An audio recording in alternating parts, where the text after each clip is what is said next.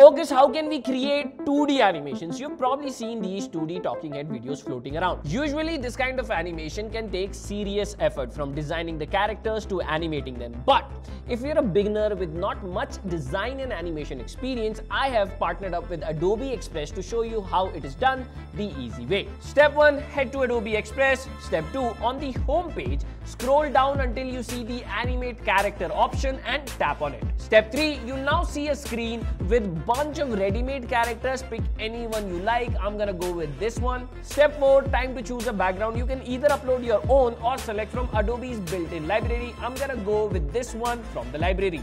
Step 5. To animate a character into a talking head, all you need is an audio file. You can either upload your own or directly record it right here. Once your audio is submitted, Adobe Express processes everything and auto-generates the final animation. Wait for a few minutes and boom, it's ready. Winter may be cold for you, but for me, it's the season of joy, laughter, and endless snowball fights. It's that simple to bring a character to life. But that's not all. If you're a beginner who wants to understand the basics of design and video for content creation, Adobe Express also gives you quick and easy tools to remove background, auto-generate captions, and template for intros, outros, marketing videos, and social media clips. This is your all-in-one toolkit. Turn your ideas into standout visuals with ease and speed. Start creating today with Adobe Express.